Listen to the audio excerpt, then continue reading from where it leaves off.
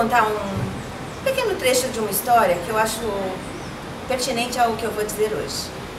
Numa dessas minhas andanças pelo meu trabalho social, entrando numa casa muito modesta, num lugar muito, muito simples e de poucos recursos, entrei na casa e, com a alegria do envolvimento do trabalho, eu encontrei um casal bastante triste, ela muito cabisbaixa, e eu de pronto já fui abraçando, falando palavras otimistas, desejando ali que a casa tivesse alegria, que tivesse uh, tudo que de melhor o lar pode ter. E ela ainda assim manteve-se triste.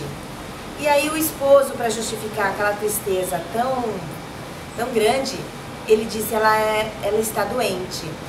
E eu de pronto quis saber o que, eu, o que ela tinha e onde eu poderia contribuir.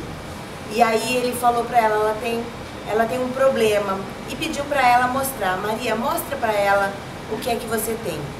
E ela estava com um lenço na cabeça. Olha que interessante, né?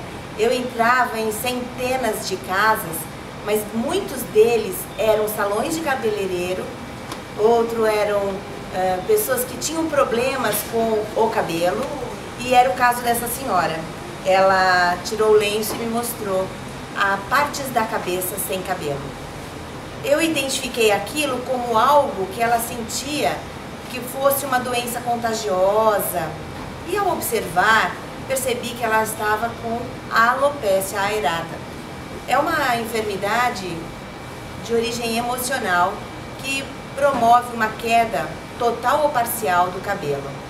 E eu de pronto já me aproximei dela, eu falei, senhora me dá licença, posso ver? E ela com a cabeça acenou que sim. E eu me, de pronto já constatei que era a alopecia aerata.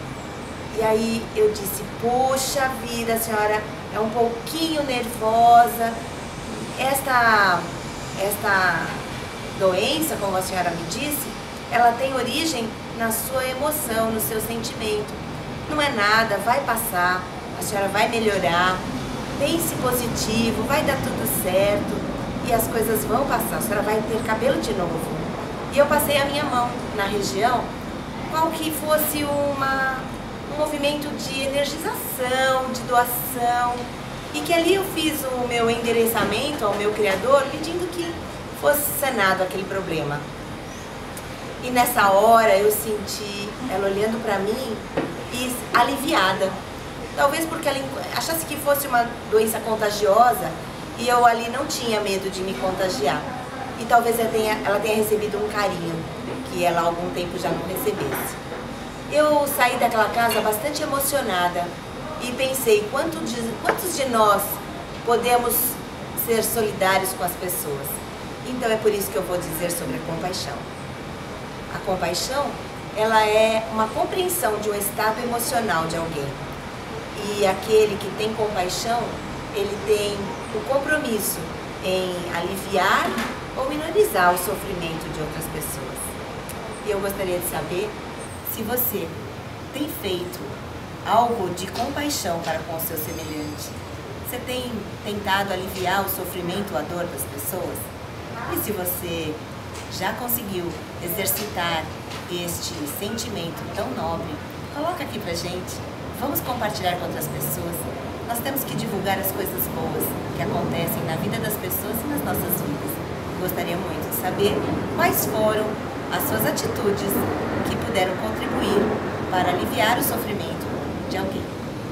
Fique então o meu beijo e a minha expectativa no que você vai dizer.